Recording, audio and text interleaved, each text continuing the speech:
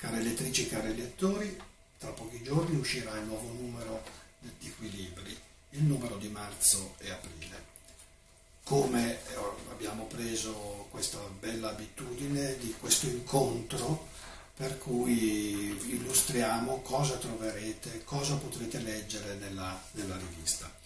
Nel numero di marzo-aprile abbiamo preso in esame il tema della violenza lo abbiamo declinato in vari modi e uh, il, dossier, il dossier sulla violenza parte con un bellissimo articolo di Carla Stroppa che prende in esame l'innocenza soprattutto dei giovani che a un certo punto della loro vita diventano violenti. Il dossier quindi prosegue con un bel intervento di Francesco Roat il titolo ve lo riassumo, 2000 anni di cristianesimo, ma la violenza tra gli uomini è aumentata. Poi abbiamo, grazie a Barbara Scapolo, un'intervista al filosofo Umberto Curi.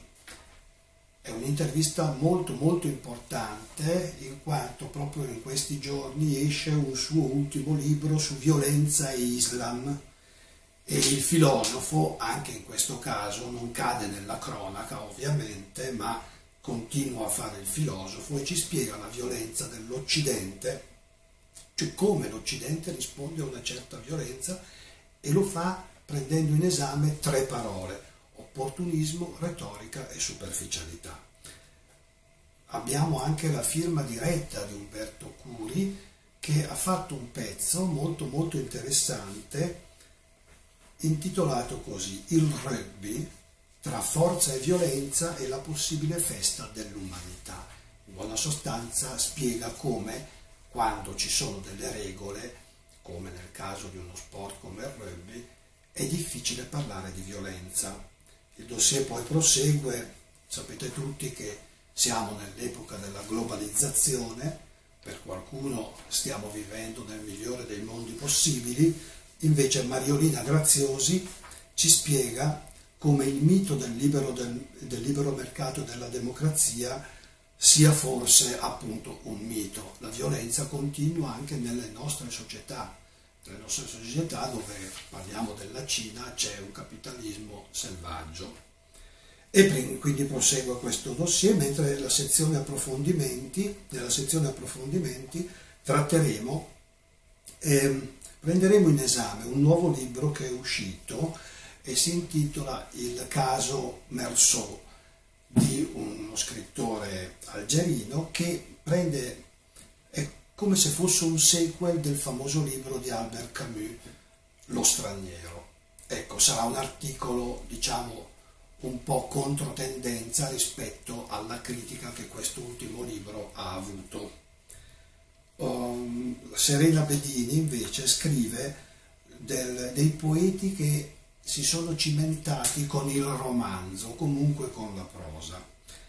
Sono moltissimi i pezzi che si possono leggere nella sezione approfondimenti. Segnalo per esempio che eh, c'è eh, Claudio Tugnoli eh, che ha scritto un intervento significativo sulla, um, sulla Dead Education e prende in esame una serie di seminari fatti all'Università di Padova sul tema di imparare a morire. Quest'anno ricorre anche il trentesimo anniversario della morte di Simone de Beauvoir e dedichiamo a questa grande scrittrice, a questa grande intellettuale un, un servizio.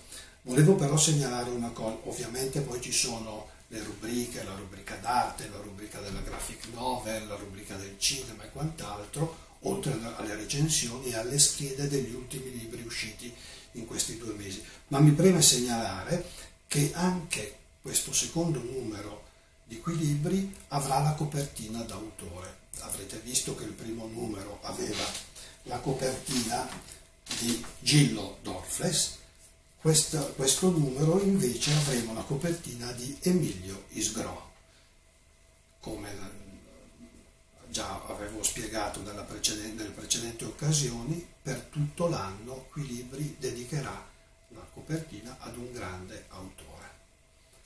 Vi attendiamo tutti perché questo numero non potete assolutamente perderlo.